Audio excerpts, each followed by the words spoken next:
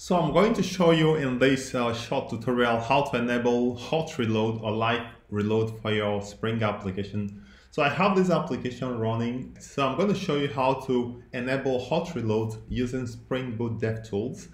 And you'll be able to save changes and then your application is going to the page will automatically refresh. So here are the four steps you need to follow. So these are just the four steps.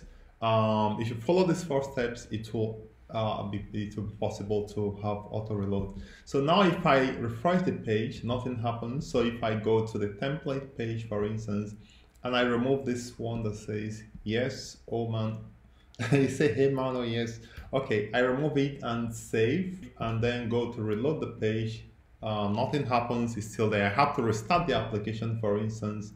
I have to stop the application and then uh, restart it before the page is going to take, before the changes will take effect. So let's take, now if I refresh, uh, it works, okay? So let's take the steps so that you can see how it works. So the first step you need to take is to add the Spring Boot DevTools dependency. So you can go to MVN repository and then we can get the Spring, uh, Spring Boot DevTools. Spring Boot DevTools. So you got to get this dependency uh, right here. So let me use maybe 3.1.0. And normally the version matters. So uh, let me show you what how it works. So if the version you use actually did not work, we have to use another one. So I placed this this dependency right here, but I think I'm going to change the version. So if I start typing three points, uh, it gives me two points. So I'm going to just use this one, all right? For some reason, the version above 3 doesn't work. And the second step we want to take, let's go back to the steps, is to add, okay, disable caching. Okay, so to this disable caching, you go to application.properties and you, you have to add the the key to disable caching and it's simply you have to say spring spring Thymeleaf cache is equal to false okay the next step you want to take is to enable automatic uh, project build in settings. So head to settings. In Windows is settings, but here is preferences and go to uh, build execution, execution and deployment, go to compiler and you have to check build project automatically right here. I've done it already. So now the step four says add the live reload scripts, okay? So I'm going to just add, I'm going to show you the live reload scripts. So um, this is what it looks like. So this is a live reload script. We are going to add it to the home, to the index page of our application.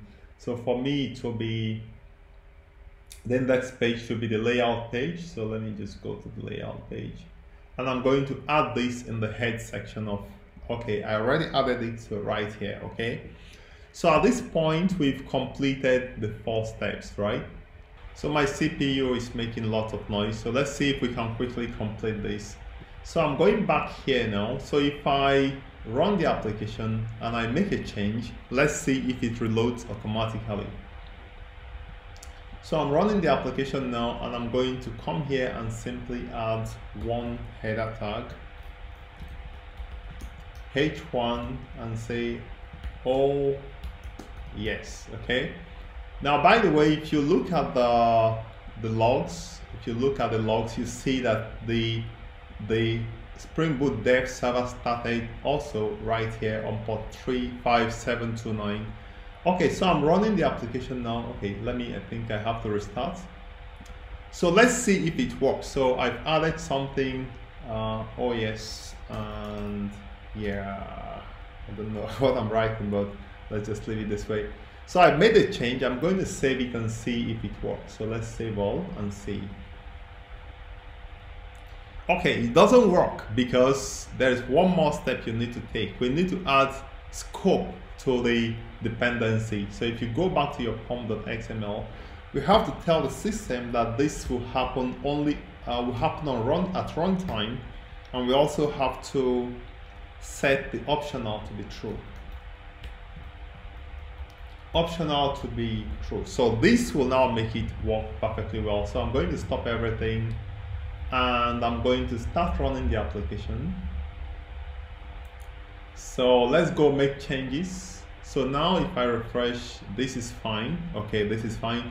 So let's make changes now and see if it will automatically reload.